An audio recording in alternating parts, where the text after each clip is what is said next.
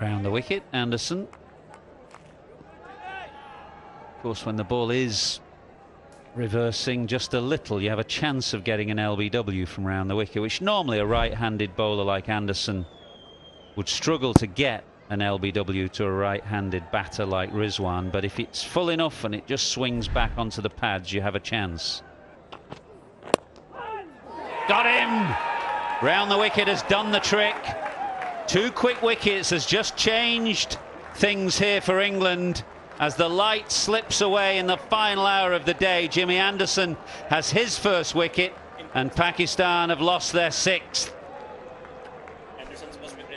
Well, at various times today we've seen a lot of men that sort of distance from the bat. On this particular occasion, Rizwan picks out the one man, Ben Stokes, who takes a comfortable catch round about shin height. It's one of those plans that's been in operation for a lot of the day, having men in close catching positions in front. And uh, finally, Ben Stokes sees the rewards. That's an important wicket. Rizwan, a very, very dangerous player. 29 for him. Uh, interesting situation now as we get towards the end of this third day with Pakistan 475 for six.